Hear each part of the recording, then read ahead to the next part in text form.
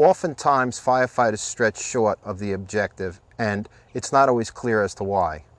This is one of the main things that can happen. The firefighter uses the attack length as travel hose.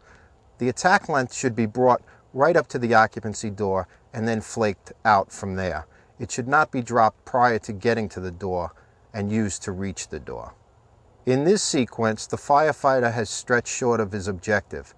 He has dropped his lead length and used it for travel to the front door. Once inside, he will not have the 50 feet of hose to traverse the apartment. In this sequence, the firefighter has brought his lead length to the front door. This amount of hose will be used to go through the occupancy. He flakes out the hose in line with the front door, creating a loop in the hose. This will assist him with his forward momentum into the occupancy.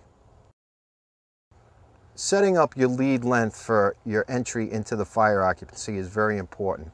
We right now have the hose lined up in a direct line of sight for the nozzle firefighter and in a simple U-shaped layout. That U will play out perfectly and give us plenty of hose to advance quickly through the fire occupancy. With the line opposite the entrance door flaked into a nice U shape, the nozzle team will be able to go directly into the fire occupancy, pulling on the hose. By having it in a straight line, this will be less friction involved and it will allow for a smoother advance into the fire occupancy. If space allows, try and get your U approximately 25 feet from the doorway. This will allow half the length to go into the fire occupancy without making any turns whatsoever, speeding up your advance and extinguishment.